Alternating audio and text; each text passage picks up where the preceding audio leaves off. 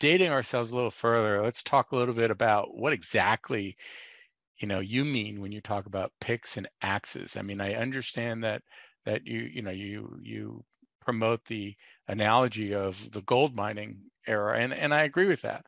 But you know, what does it mean to be picks and axes in the context of the blockchain or Web 3.0? Yeah, I mean, I think there are there's you know a, a perfect example for us is Cloudflare, right? Where that's a huge company that nobody hears about because it's kind of back behind the scenes. And there's a tremendous amount of money always in every new market to be made in the plumbing of of uh, of what's of, of the new thing that's happening.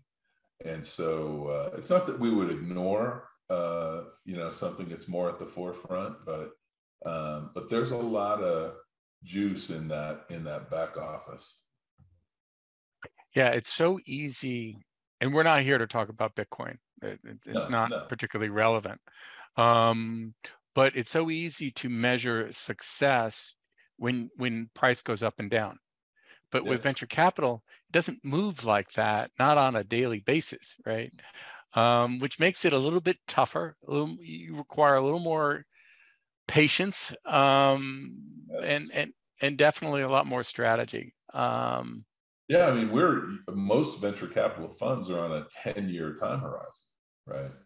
And so honestly, a company can just suck for five years. You know, as long as it's as long as it takes off in that time horizon, you're great.